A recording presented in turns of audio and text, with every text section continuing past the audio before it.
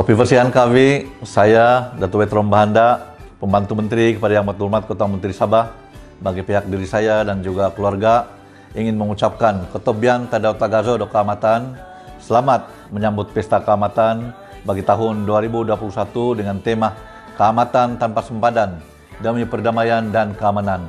Kawan sapatan, sekobai tahun udun, negeri Sabah, mudah-mudahan keamatan itu akan menyisop toko kaviai rakyat uh, seluruh negeri Sabah.